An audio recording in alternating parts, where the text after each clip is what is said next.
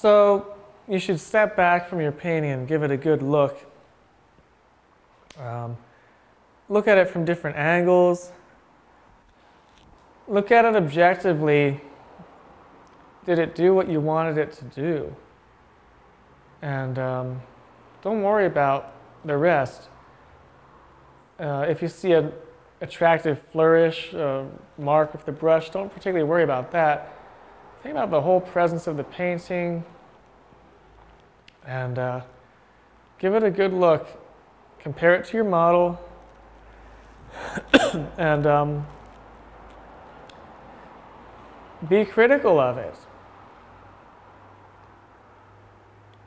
If it doesn't uh, work well, you can come back to it later, but uh, be aware of its strengths and weaknesses.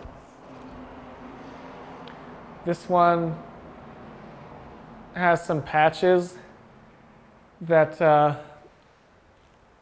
are done differently than other areas, but that gives it variety. I, I recommend living with it for a long time before you really consider it done.